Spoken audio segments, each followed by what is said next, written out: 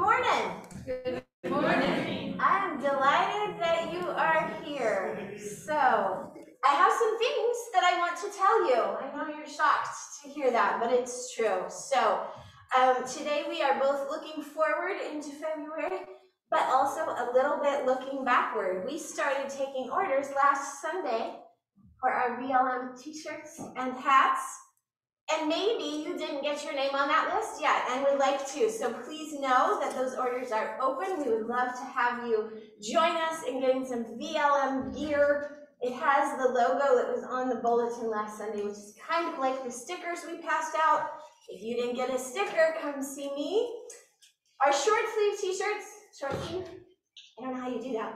Um, are $18, long sleeve t-shirts are $20, hats are 15. So uh, come see me, let Mary Lynn Fallon know, you can email me. Um, don't forget, but if you hand me a little, I will get you marked down. We do provide pay now when you make the order. I do actually send the order for you you have your money because we have to pay for it. All right, let's do that. Super fun. Another thing. All this so right. If you did get your thumbprint or fingerprint, a pinky print on our thumbprint tree last week at our party, it's in Bailey Hall with those ink pads and you can get yours on there today. So I encourage you to do that if you didn't get a chance last week. So this morning, Bible study started. Yay, we've missed it. It stopped over a month and a half ago. So I hope that you're joining us on Sunday mornings at 9 a.m. in Bailey Hall or on Zoom.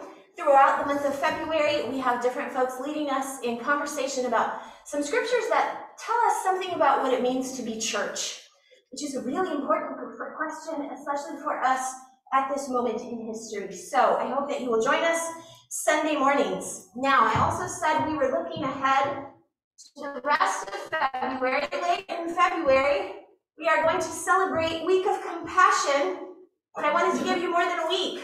So I'm going to toss out some coin boxes to somebody that wants one. Do you want one? I want. one. All right. You don't have to catch it. Anybody else up here want a coin box? You all should know I'm a terrible thrower, so if you don't catch it, it's all. All right, John. She wants one. All right. All right. If you don't catch it, it's entirely my fault. Coin box? Yeah, only if you want one. I only I only folded up 15 of them because you both want one.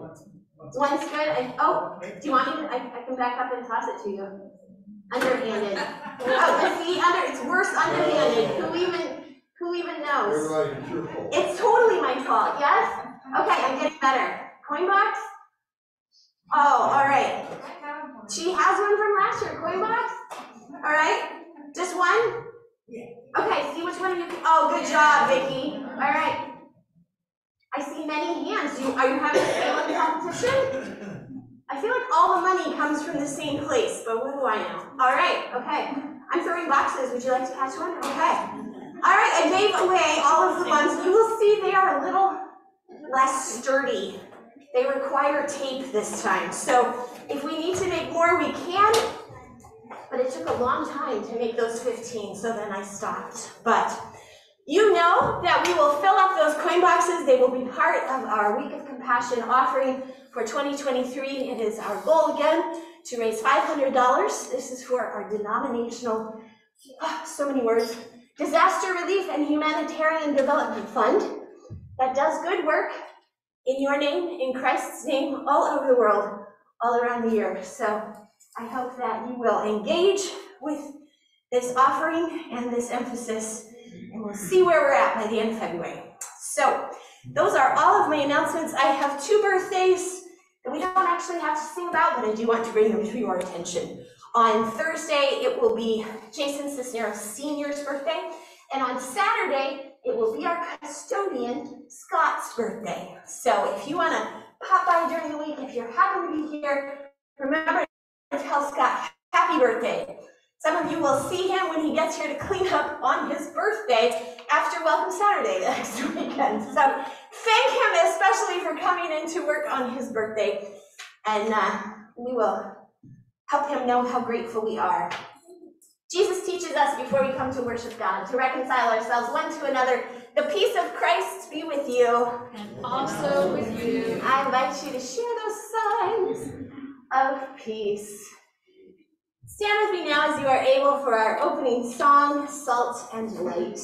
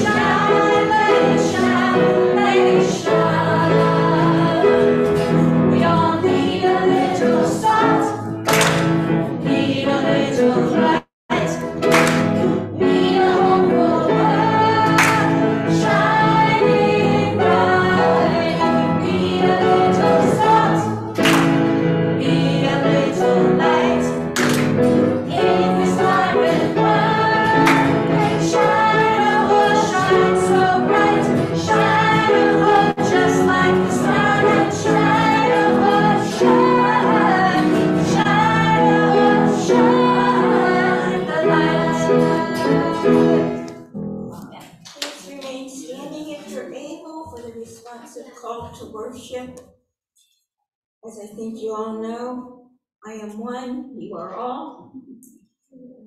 Friends, we gather for worship to listen for a different voice than the ones that have filled our ears all week, telling us what to do, what to value, who to be, and what's important. We come this morning to retune our hearts to listen for the voice of God. We come listening for God's truth, looking for the light of Christ, seeking the wisdom of the Holy Spirit, so that we can go forth and share honest hope with the world that is hurting.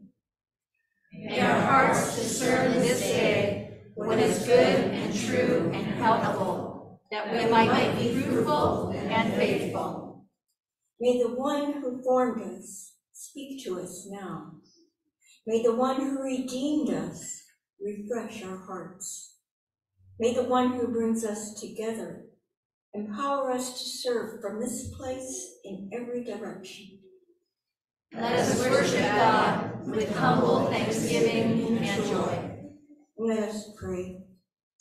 God of grace, we are aware of being blessed and highly favored to join the gathering of your people today, celebrating and hungering for your gifts of love, light, and wisdom from the Holy Spirit.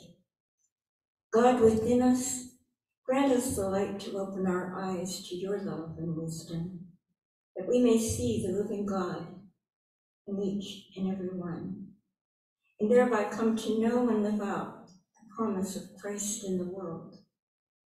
May we be renewed by this morning of praise and worship for your service in this world. In the presence of your Holy Spirit, 没回，嗯。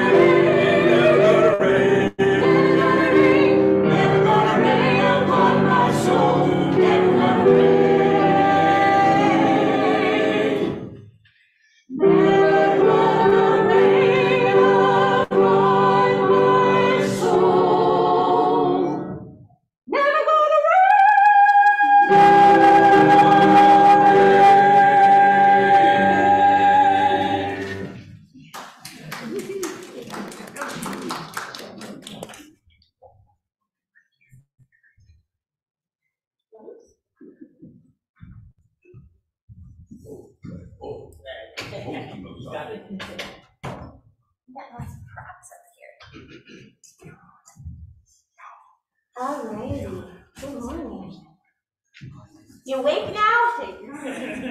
I am. Alright, let's see what's on the next page. Are there youngest, how many youngest, is- they're both back there, right? Oh, I see your little heads, you guys are like a puppet show.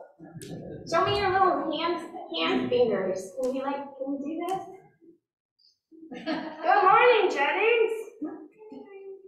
God loves you, Jennings. Good morning, Tennyson. God loves you, Tennyson. Who have we got on Zoom this morning, Pastor Tessa? Uh, this morning we have Kathy, Becky, Bob, Daniel, Eileen, Claudette, and Betty. All right, good morning, Zoomers. Good morning. God loves you, Zoomers. We are delighted to have you with us.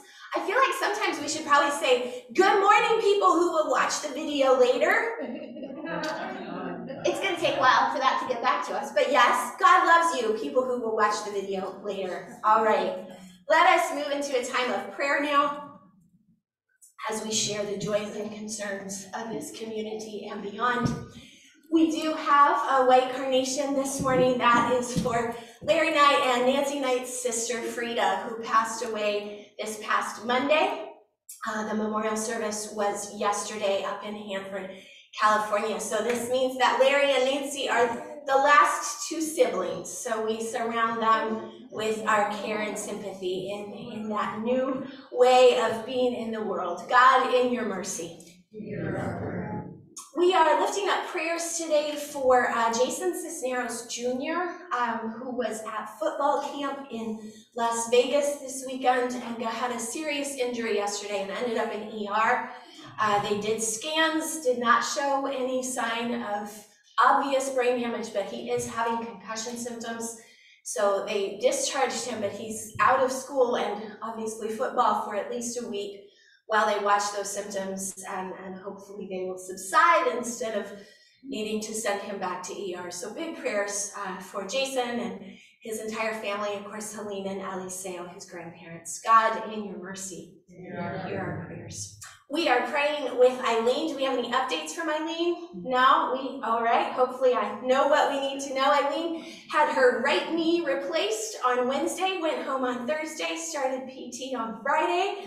Uh, as far as I'm aware, everything is going okay, uh, despite the fact that there was a giant ice storm right before that all had to happen. So continued prayers for Eileen's recovery and all the ice to go away. God, in your mercy, hear our prayers. We're continuing to pray with Mandy Dory, um, who got a cast on her really the bottom half of her left leg. Uh, this week there is a, a fracture, a crack fracture. The cast is to make sure it doesn't get bigger. Um, this is from a couple of weeks ago now when a ladder fell on her foot. Ladder safety, my friends. Raise your hand if you pledge to be safe with ladders. All right, Jeremy, I want to see your hand up, all right? I know some of you who, who think you're friends with ladders. John, did you put your hand up? Ladder safety, he's shaking his head. God is watching you, John, I'm just saying. All right, so we're praying with Mandy that she may be an example to all of us and be healed soon from the fracture in her foot. God, in your mercy, hear our prayer. We're continuing to pray with Becky, um, who has started PT. Um, her appetite's coming back, which means she's able to gain more strength. Um, is there any update there? No. So last I had heard, the doctor said she might be able to go home. What would I guess be this coming week, the end of this coming week. So uh, prayers, prayers for Becky's recovery. God, in your mercy, hear our prayers. Uh, we are continuing to pray for Caitlin Yoder um, after uh, an accident with a supposedly foam arrow that wasn't all foam that hit her eye. Um, her vision is returning some, it is blurred. Um, you can see the color in her eye, which had been, I think, completely obscured. Um, but the pressure in her eye is still very high, which is a risk for uh, glaucoma, which would not normally happen in someone so young. Um, so she's getting eye drops uh, to treat for that. So continue prayers for Caitlin Yoder and Grandma Katie, who is far away. God, in your mercy, hear our prayers. We are in a broken, hurting world, my friends. We lift up prayers this day for the ongoing war in Ukraine, wildfires in Chile, the mosque bombing that killed over 100 people in Pakistan, increased violence in the Holy Land, deadly cold weather in the Northeast, increasingly violent acts of anti-Semitism all across the US, and the epidemic of gun violence that we seem unable or unwilling to contain. We pray our prayers to God in desperate hope. God, in your mercy. We lift up our partners this week. Our global ministries prayer partner this coming week is Costa Rica. Our Pacific Southwest regional prayer partner this week is Disciples Seminary Foundation in Fullerton, where, where Belva Brown Jordan um, serves as the interim or acting, something like that, executive director. They're looking for someone to take the permanent job, and it's not her, she says. So prayers for that whole process and Belva and the other staff. God, in your mercy, hear our prayer. Do we have any prayer requests in the chat box? No? What else can we lift up today? Brenda? I got some results on my uh, PET scan and they weren't very good. Um, the tumor is grown a couple centimeters and I have some activity in my liver and my, uh, and the lymph node in my neck. That says level two, I don't know what that means. I'll find out, out on Wednesday. But I was very disappointed and anyway, I don't know how it's going to affect my surgery, but we'll see what happens. Okay, okay, so surrounding Brenda with our prayers uh, at the results of a PET scan, that was the opposite of what we wanted to hear. That tumor has grown just a bit and it showed activity in her liver and a lymph node as well. So surrounding Brenda with our care and, and God's presence. God, in your mercy, hear our prayer. Karen? I have a great joy. On Friday night, uh, some of us were able to go see Helix High School's, I don't know, is it the whole performance department? Uh, Anyway, drama and music and dance, all put on the musical Rent. And Michelle is the musical director for that. These kids were incredible. It was such a professional production and so uplifting to just see what our young people can do. Um, So joy that we have a school like Helix in our community and a director like Michelle here with us. Yes, yes, what a wonderful, wonderful production they have put on. God, with joyful hearts, we give you thanks.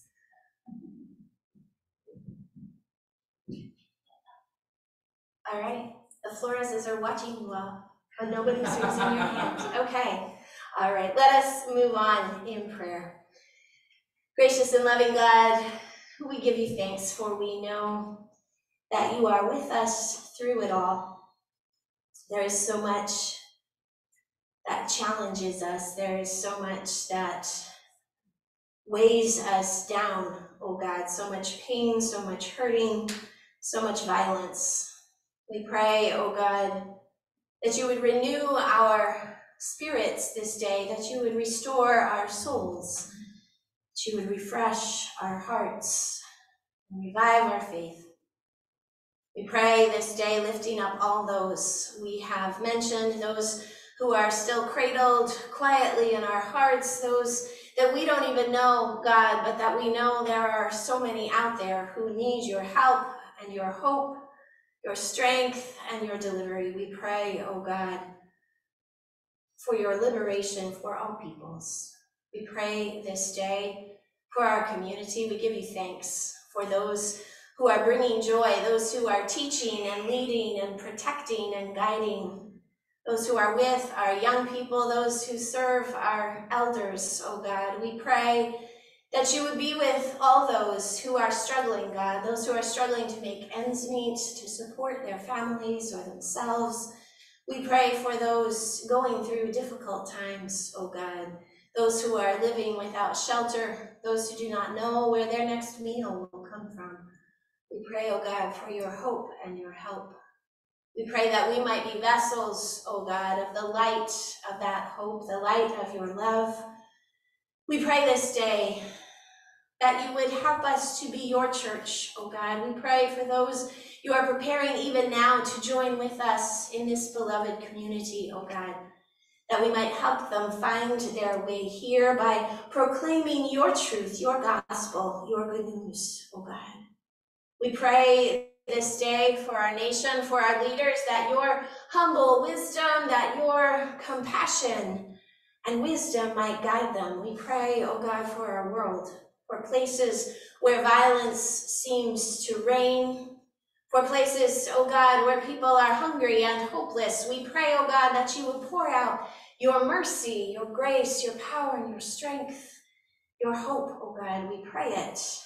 We pray this day for peace. We pray it all in the name of Jesus Christ, our Lord.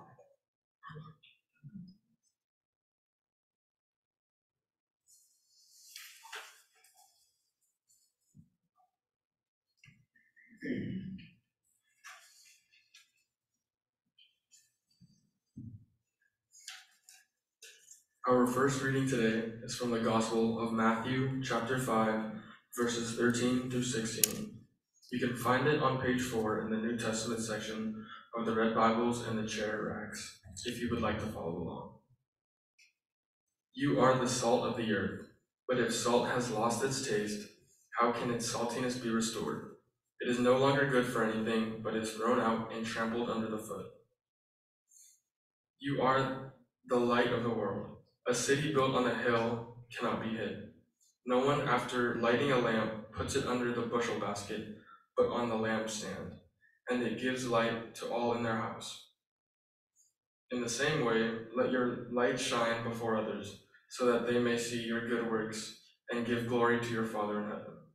May the Holy Spirit add blessing to this reading from the Gospel.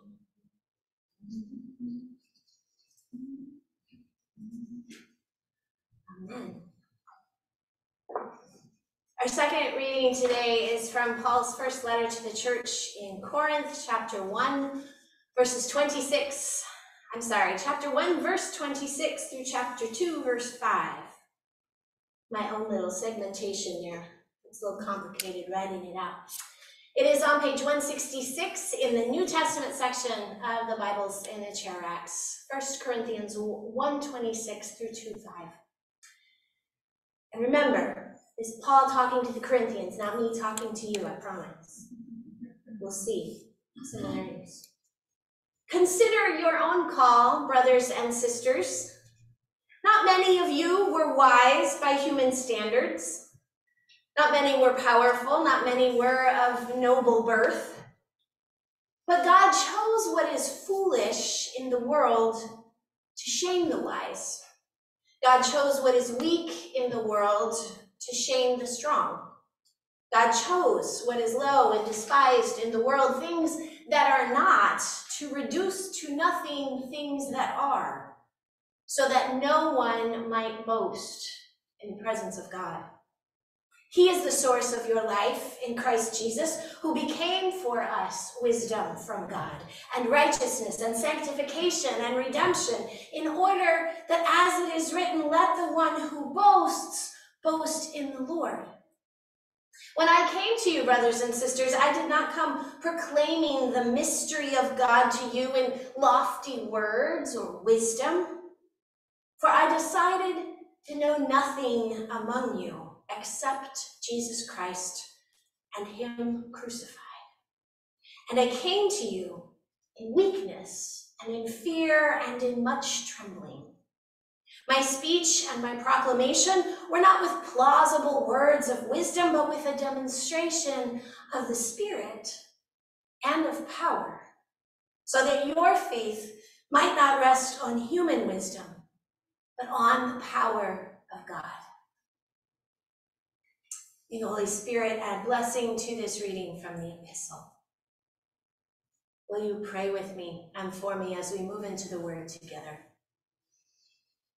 Holy God, bless the speaking and the hearing of these words that we might open our hearts to your wisdom and trust in your strength. In Jesus' name we pray. Amen.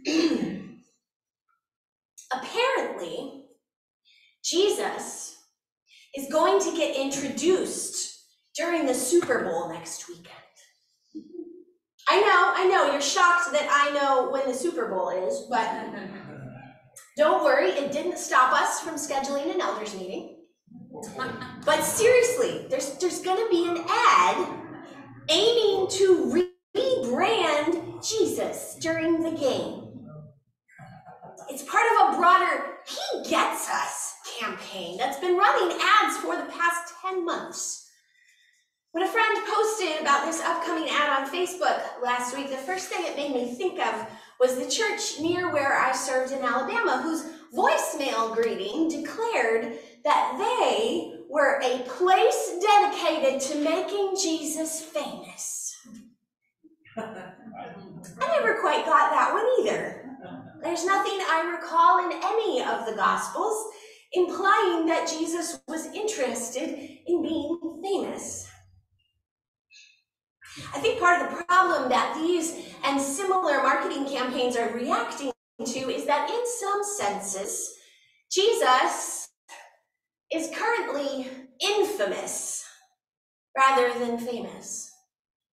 Surveys have shown that a wide swath of Americans associate churches with hatred and intolerance rather than love and compassion. It seems we've had a plenty tall lampstand. The problem is that it wasn't the light of Christ that was shining out from those lamps. Now, it is highly unlikely that VLM is ever going to purchase ad time during the Super Bowl. We have better things to spend $20 million on should they come our way. If you want to talk about that later, we can meet after church. that doesn't mean this isn't an issue we should think about. Indeed, during this anniversary year, one of our hopes is to spend time discerning who we are and how to share that more broadly so that the people who need to be part of this community can find their way here.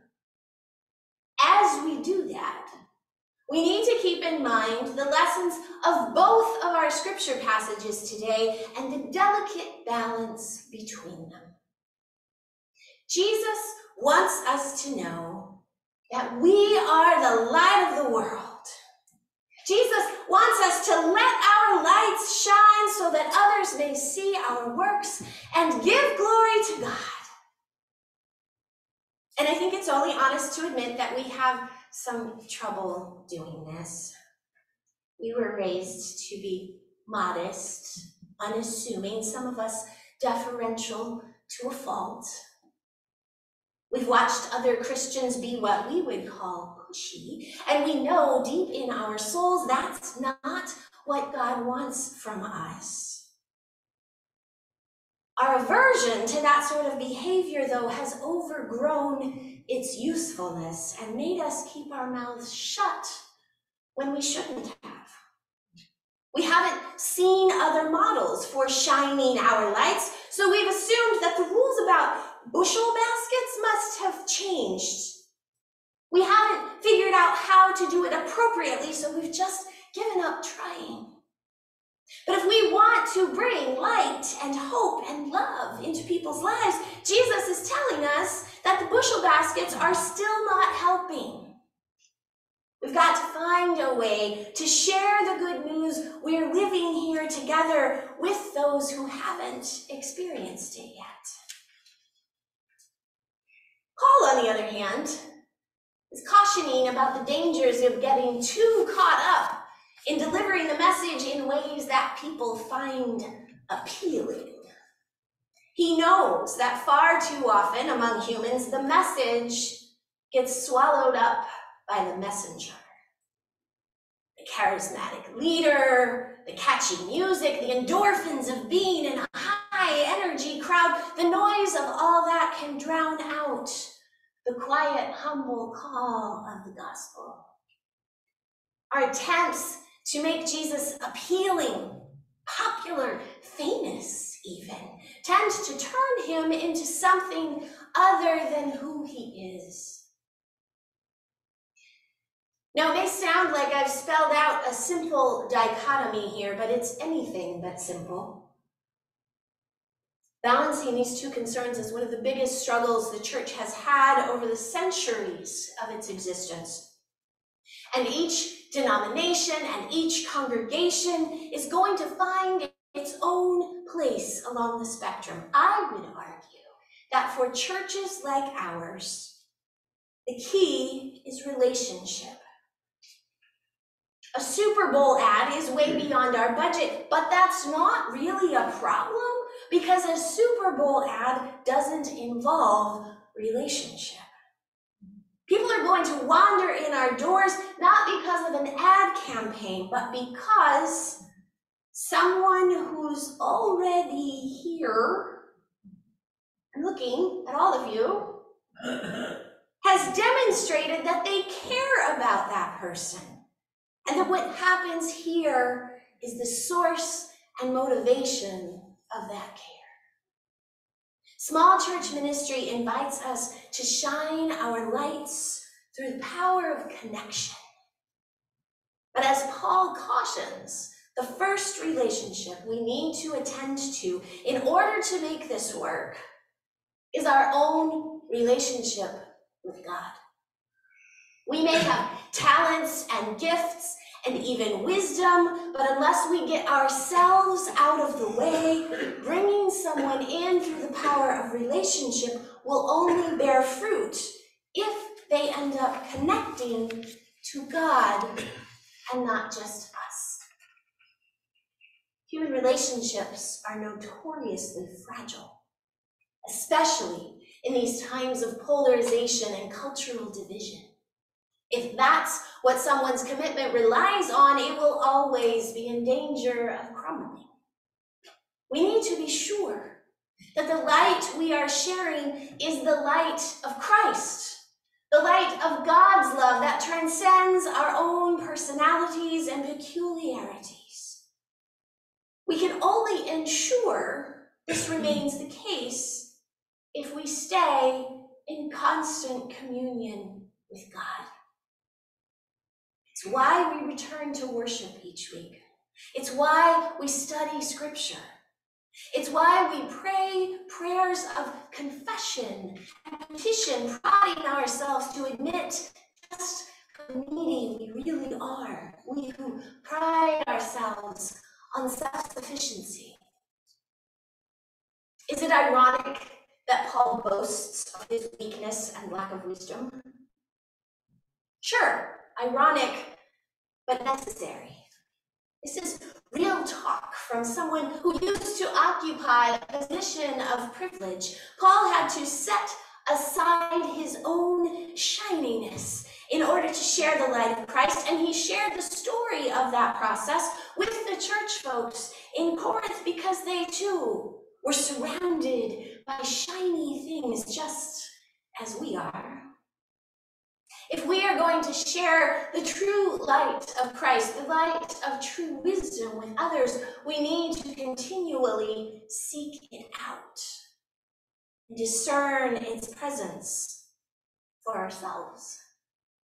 We need to hone our skills of honesty and humble forthrightness so that they are able to withstand the power of our skills of denial and rationalization. We are gifted at explaining to ourselves why the thing we most want is obviously what God wants for us too, whether it matches up with gospel values or not. We are gifted at convincing ourselves that the easy way is the grace of God pouring into our lives, when in fact it may be our own fear directing us. This is why we come back every week. Not just to see one another and laugh and weep together, but to commune with the Holy the one who lifts us out of our everyday perspective so that we can see more clearly what is true and good and helpful instead of just what is shiny and appealing and undisturbing.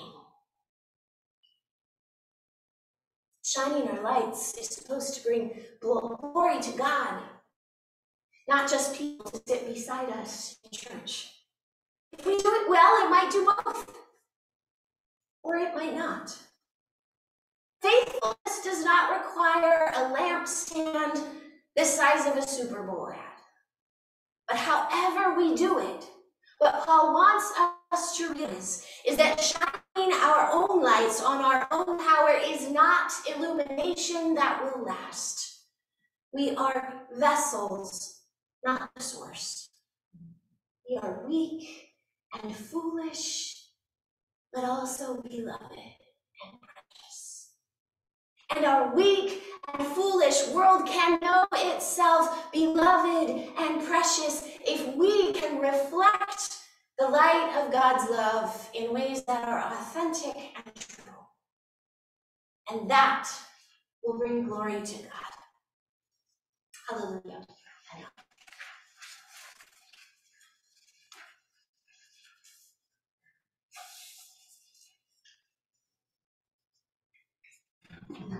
Our response this morning is number 595, Be Thou My Vision, verses 1 through 3.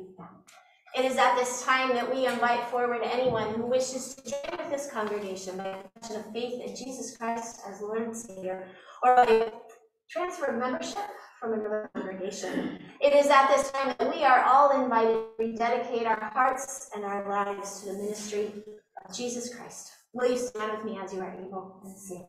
Be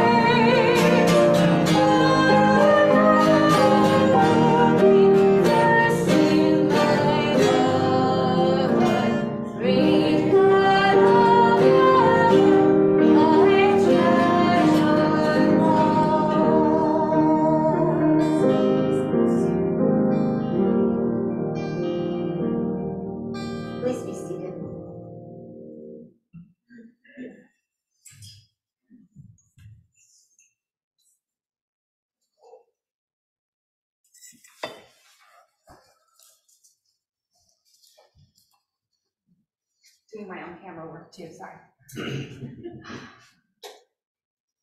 scripture, we don't hear about it often, of people being called by God and them wondering, why the heck me? It happens occasionally, but even these great figures, you don't hear their wrestling, their conversation with their spouse or their trusted advisors or whoever else. When God has called them, why me? What do I have to offer? What's so great about me? What's so special about my gifts or talents compared to that guy or that person or my neighbor? Many of you are older than me. Um, and I say that not disparagingly, but often in life, um, I wonder who let me do this as an adult? Who let me have this job or buy this house or move here? Buy who, who is okay with all of this? Who is signing off on this? And it feels weird at times because I don't feel like an adult many times. I don't feel like I have the, the correct knowledge or wisdom or everything I need to know in order to make the right decision. I have what I what I can get, but it feels weird at times. And yet, God calls all of us in any state, at any moment, at any time, whether we feel ready or not, whether we feel prepared, whether we think our light will shine bright enough for others to see and hear and listen. There are many moments of my life where people paid for a meal, especially in college, when I was a broke college student, and that that has stayed with me until now. And I hope to bless those who I meet who are younger than I in college and pay for their meal and listen to their situation, to pay it forward constantly and often. I think that's what God wants us to do. Whether we're ready, whether we know what the best next step is, to just give, to just be who God has called you to be, to give as much as you can, even if you don't feel like it's enough. Because God has called us to do this work. There's no comparison needed from the God of all source and all being has provided. The deacons, please uh, receive offerings.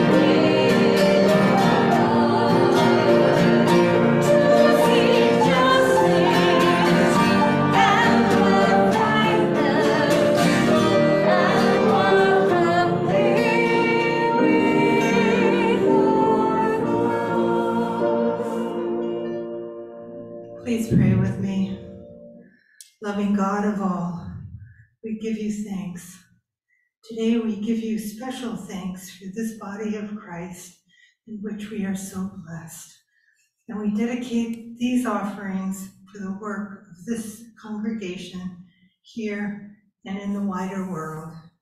In Jesus' name, amen. Please be seated.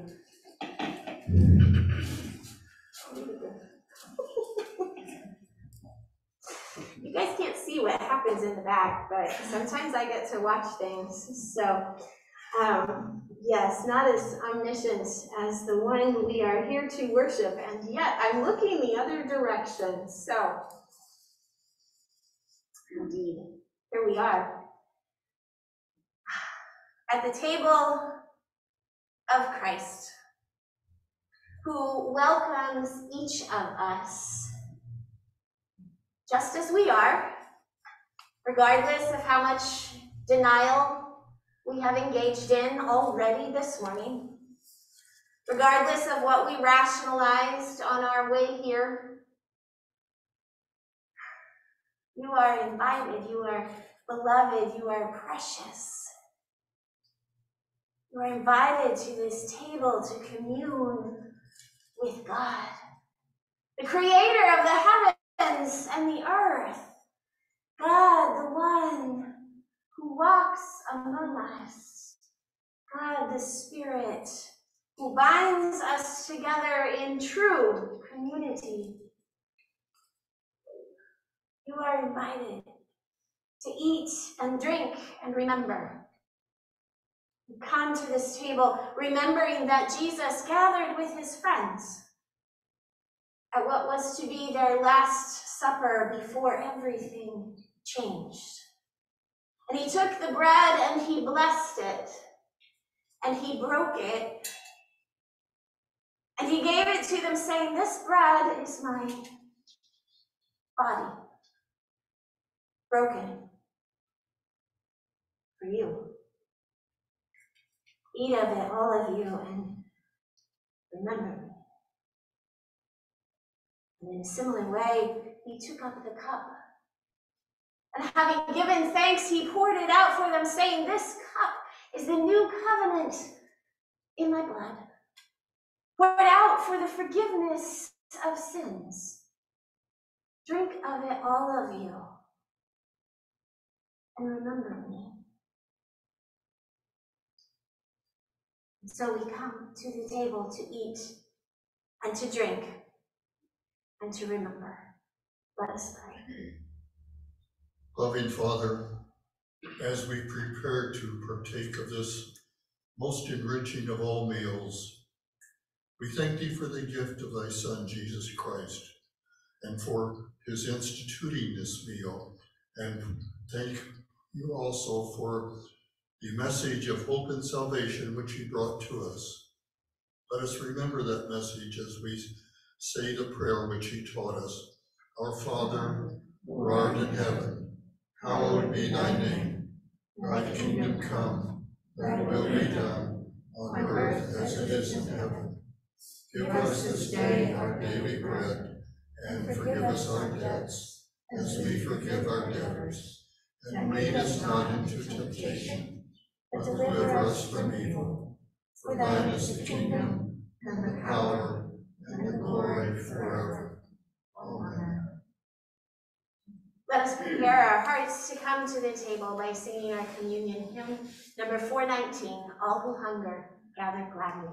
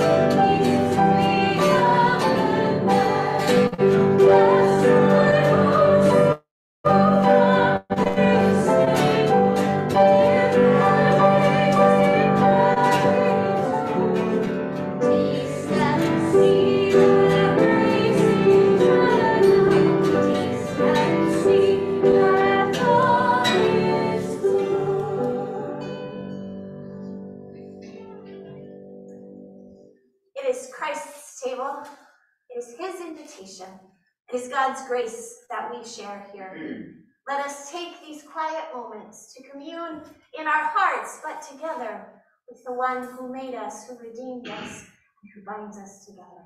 Will the deacons please come forward?